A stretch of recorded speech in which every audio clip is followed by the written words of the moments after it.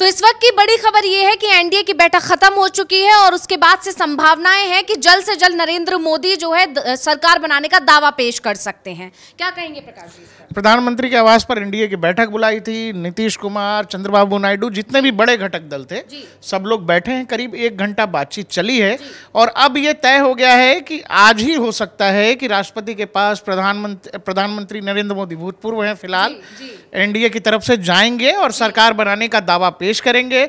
जितने भी सहयोगी दल थे वो चाहे तेजस्वी याद तेजस्वी कह रहा हूँ चिराग पासवान हो और छोटे से छोटे जैसे एक नाथ शिंदे हों एनसीपी से अजीत पवार हों ये सब लोग आए थे। प्रधानमंत्री के आवास पर बैठक हुई है और अब सरकार बनाने का दावा पेश होगा। देखिए एक दूसरी तरफ़ विपक्ष भी आज शाम को छह हाँ, बजे बैठक इंडिया इंडिया की भी बैठक छह बजे बैठक कर रहा है।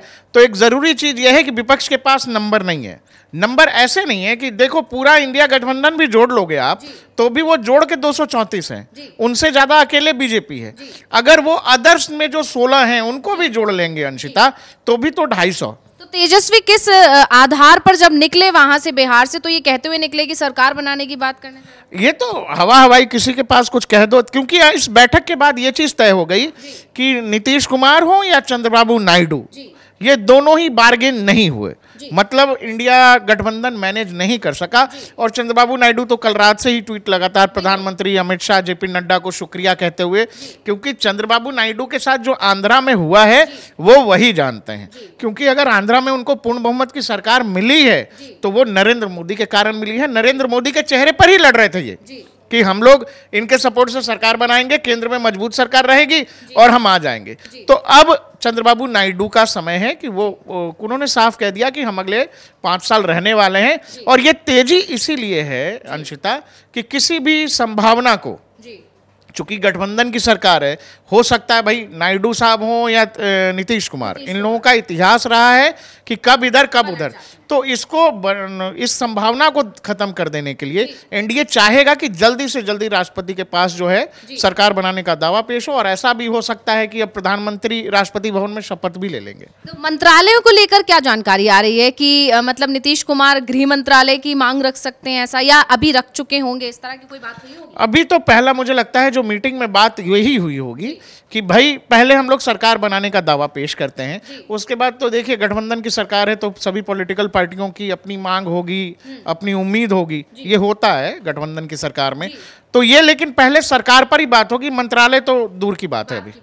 अब ये तो साफ़ हो गया कि नीतीश उधर नहीं जा रहे हैं चंद्रबाबू नायडू उधर नहीं जा रहे हैं। लेकिन इसी के बाद जो है कुछ सवाल जो है खबरें ये भी चलने लगी है कि ऐसा ना हो कि इंडिया गठबंधन के कुछ घटक दल इधर आ जाएँ जिसमें उद्धव का नाम सबसे आगे चल अब देखो आप लोग ये कह रहे हैं कि नीतीश कुमार पलटी कुमार हैं पलट जाएँगे उलट जाएँगे। मैं आपसे कह रहा हूँ समाजवादी पार्टी अगर यूपी में टूट गई तो? ममता बनर्जी बंगाल में से कह रही हैं कि मैंने राहुल गांधी को मैसेज किया कांग्रेचुलेशन उसने कोई जवाब ही नहीं दिया तो वैसे भी एकला चलोगी नीति ठीक है ना? तो अगर ममता ये कह रही है दूसरा उद्धव ठाकरे का आप ज़िक्र कर रहे हो उद्धव ठाकरे बैठक में नहीं आ रहे हैं। उन्होंने अब उनको भेजा है संजय राउत। और रवि राणा ने अभी दावा भी किया था कि उद्धव पंद्रह दिन के अंदर अंदर जो है इधर आ सकते तो अभी ये इलेक्शन के बीच में ही ऐसा ऐसी कोशिशें हो रही थी। कहा गया एक बड़े उद्योगपति इसमें लगे भी हुए हैं कि किसी भी तरह से उद्धव की जो है एंट्री करा दी जाए एनडीए में।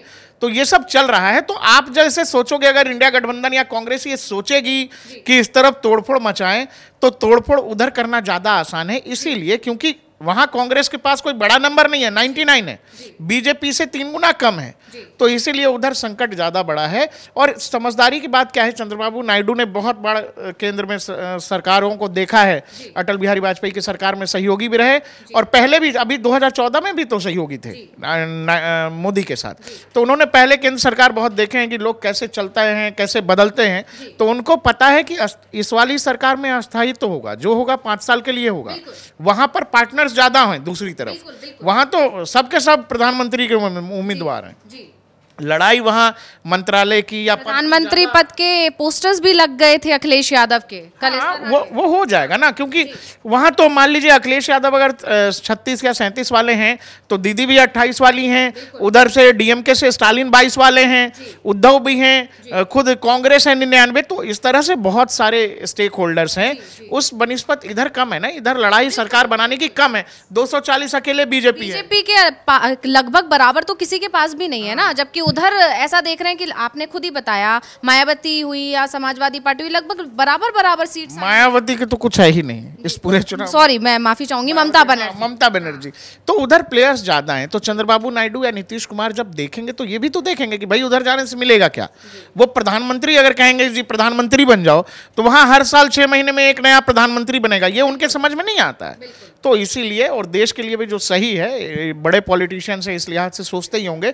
इसीलिए मुझे लगता है कि ये सरकार का गठन भी जल्दी से जल्दी और प्रधानमंत्री मोदी जल्दी से जल्दी शपथ ग्रहण कर लेने की तरफ़ है। मोदी प्रधानमंत्री दोबारा तीसरी बार बन जाएँगे ये कहेंगे भूतपूर्व से जल्दी से वो वापस आ सकते हैं ये कहना है हमारा और हमारा भी मानना है कि और जो पेज फंसा हुआ है वो भी जल्दी खुल जाएगा कि किसको कौन सा मंत्रालय मिलने वाला है और ऐसा जानकारों का भी दावा है कि कुछ प्लान भी ज़रूर बीजेपी ने तैयार करके रखा होगा।